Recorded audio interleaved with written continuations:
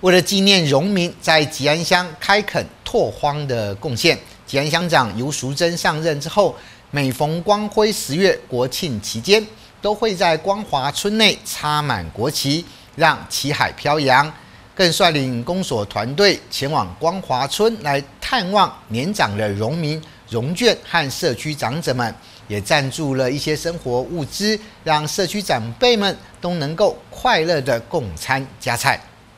双十国庆即将到来，吉安乡光华村内已经到处插满国旗，老农民看见旗海飘扬的模样，直呼好开心。看到了，看到了，有没有很开心？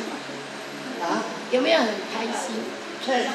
为了庆祝双十国庆，兼乡长尤淑珍分别前往了光华发展协会的社造 C 据点，以及光华城乡发展协会的光华村共餐计划站，探望年长的农民、农眷与社区长者，也赞助白米、油盐等各项民生物资，让社区长辈们都可以共餐加菜。淑珍在上任之前答应我们的北北们。在十月双十的日子里面，要在光华村插满国旗，所以呢，在我们光辉十月，今天也特别来看看我们哦，在筚路蓝缕里面为我们社会、为我们过去国家承担了很多背景时代任务的这一些长者哦，来进行照护跟安养的工作。我相信哦，吉安是我们长寿之乡，我们超过了十一位以上的百岁长者，十四位。以上的九十九岁的长者，我们希望在吉安的十八村都能够有很好的适性的健康乐活的环境，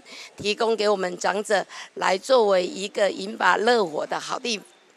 前乡长尤淑珍表示，由于乡内引法人口成长幅度快速，服务站、文件站，甚至是社区团体经费办理的长照站、共餐关怀据点等等，乡公所都会以更积极的态度给予协助，也将会寻求更多的社会能量，共同投入社区的引法安养、长照工作，让吉安乡每个社区据点都能发挥最大功能，友善服务更多长者。